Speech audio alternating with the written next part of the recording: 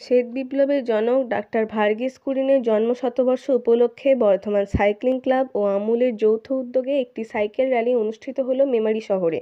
এদিন Shri Durga cold storage থেকে rally শুরু হয়ে গোটা শহর পরিক্রমা করে শেষ হয় দুর্গাপুর গ্রাম পঞ্চায়েতের চোটখণ্ড গ্রামে। বিশিষ্ট সাইক্লিস্ট ও পরিব্রাজক পরিমল কাঞ্জি এদিন র্যালির উদ্বোধন করেন এবং তিনিও র্যালিতে যোগ দেন।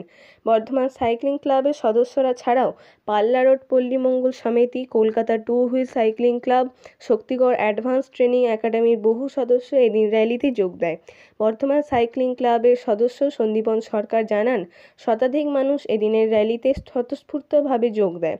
র্যালির মাধ্যমে পরিবেশ বাঁচাতে কম দূরত্বের পথ সাইকেলে পাড়ি দিন এই বার্তাকে ছড়িয়ে দেওয়া হয়। র্যালি শেষে বৃক্ষরোপণ কর্মসূচিও পালন করা হয়।